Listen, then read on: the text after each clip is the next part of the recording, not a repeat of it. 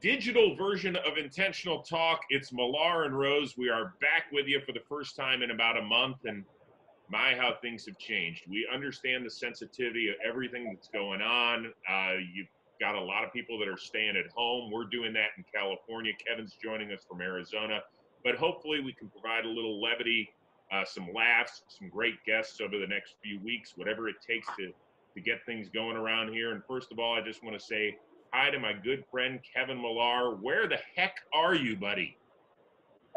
God, it's great to see you. And I love with your facial hair you're doing there, Chris. So you've defined the gravity of your hair particles coming out. But I am in Scottsdale, Arizona, Chrissy.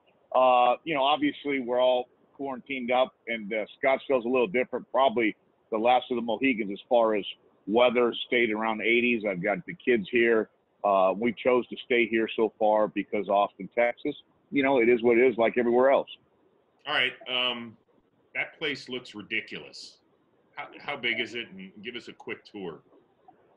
It's just about 12,000 square feet. It's like the Marriott. So as you can see there, we're going to pan the, the pool. Let me know if you get to the golf course. I mean, sorry, the tennis courts, Yeah. where's where Kylie hangs out.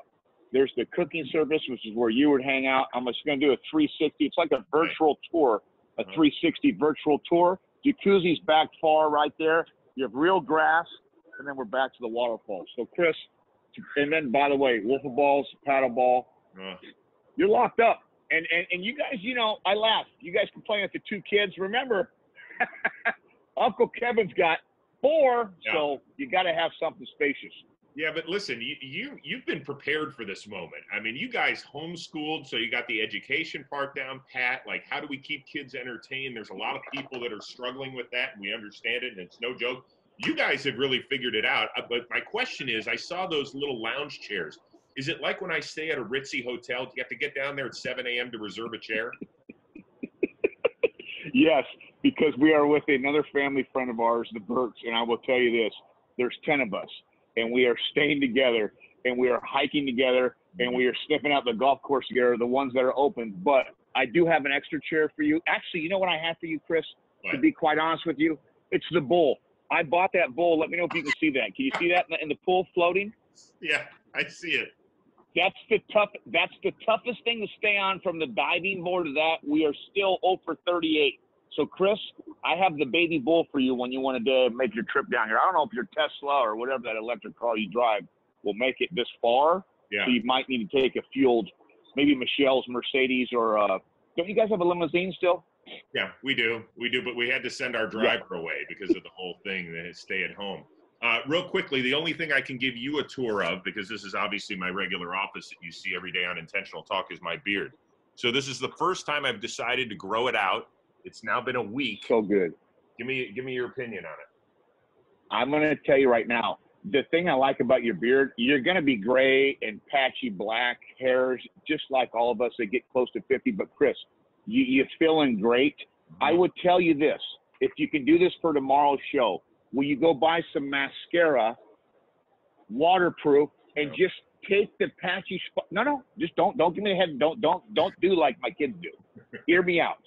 Take the patchy spots of the waterproof and just fill it in, and then take an old toothbrush that you're not going to use anymore, Mhm. and then you'll even out. I would love to see you with a fully mascara beard, so I can define the line and the jawline that you have such a nice face. Okay, yeah, because I have been shaving the neck beard part of it and trying to give it a little bit more definition. So, Yeah, jawline. Yeah. Right underneath your jawline, you can even creep another inch so you can hide the gobbler. That's really why we wear facial hair because this this creeps. I don't know, you know, you, you can you can be Gabe Kapler all you want and, and spit out the chocolate bites, but you're gonna eventually get this. So that's Right. what the beard hides, Chris. So I appreciate that. Yeah, no, I don't know what you're talking about. I don't have any problem with extra chins or anything. So I, don't, I have no idea. Yeah, I think yeah, you're a four percent. Right. So, you know, for us in California, it's been a little different. Not all of us live in a 12,000 square foot mansion with, with, the, you know, a bull floating in the pool and all that sort of stuff. So we've been taking Yeah. a long Yeah. walk. I will tell you this. Yesterday, both boys were like, Dad, you work out a lot. You're on a program. Josh came out and, you know, he's 6'5", 165 pounds dripping wet. He's this skinny guy. He's like, I want to add muscle. I want you to put me through the rigors. And sure enough, uh, it was brutal. He, I got to show you this. I got to show you this photo of him. He, uh, this is him from yesterday. At the end of the day, yes, yes, he was, I love it. he was dog tired, and uh, here's Brady doing his little weights. So yeah, the boys are kind of doing Hey. things. Can I say something? The one thing about this, okay, and I will say this to everybody, and I, and I truly mean this. You know, sometimes we don't know why things happen. Seriously, we have an invisible virus that everybody you, come in contact, you feel has that. We're quarantined up. You can only go get medicine and stuff like that. But it, it brings families closer, Chris. And I will tell you this: we are so busy with work. We are so busy with everything. Maybe this is a way to shut down. And you know what? Everybody stay inside, but enjoy your family time. And I know it's miserable at times. I know the homeschooling doesn't make sense. I've gotten a lot of calls about Jeana, what she's done the last five years of homeschooling. But I will tell you this the workouts, the games, the fun stuff that you can make up, enjoy it. There's going to be stress times, there's going to be screaming babies. But look at it as a way to reconnect with everybody and your family, your immediate family, and your kids, and the relationships and devices. Stick them out. Sometimes turn off the TVs other than sports and MLB Network and stuff. You know what I'm saying? No, I'm with you. I'm with you. With all that being said, I think it's a great point. How many times has Jeana wanted to run for the hills because of you over the last week or 10 days? I'll tell you this: when you're in a mansion like we are, and these are rentals, let's get that straight. I mean, I just want to get that real clear. I, I don't know how long I can keep renting. I was going to see if maybe I can write this off. Like you've been writing off toothbrushes for years from the network. I was going to call the network see if we can write this off, Chris, and see.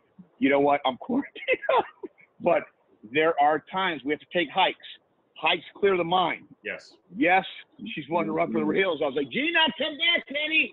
So appreciate the copy, sweetheart. Daddy loves you. Oh, is, is Jeana back there? She was Jeana.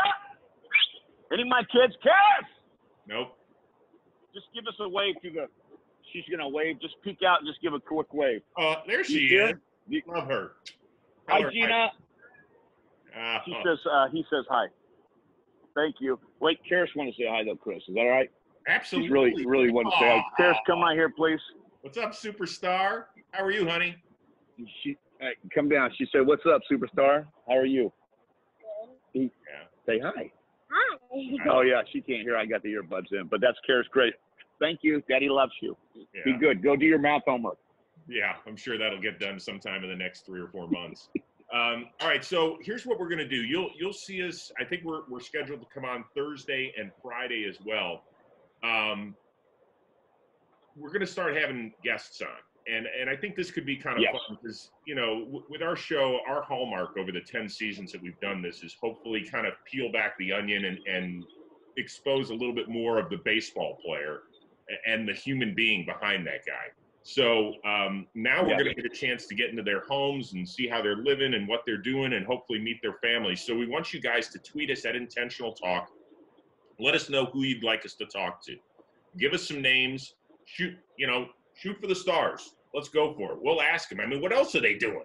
You know, they're not going out and working No. out, and, you know, swinging in the cages and all that sort of stuff. But I, I am curious about one thing, Kevin. Uh, I've talked Yeah, to a bunch of guys, hitters in particular, who haven't picked up a bat in like since they were told to go home. Like, how tough is that going to be for them to get back into the swing of things, literally? Yeah, yeah. Listen, when this thing does end and when we do get back, they're going to need the time. I mean, this is the way it is. I mean, we see spring trains for a reason. It's a four to six week situation.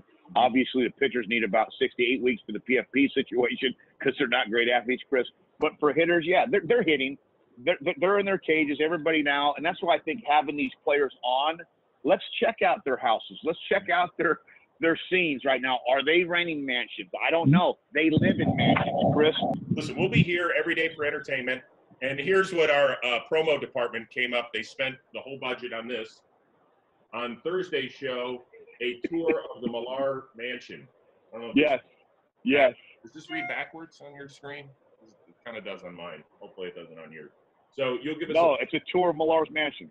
Okay, so that's what's coming up on Thursday's show. Plus, hopefully, we'll have a guest. Thanks so much for tuning in today. Today's edition of Intentional Talk.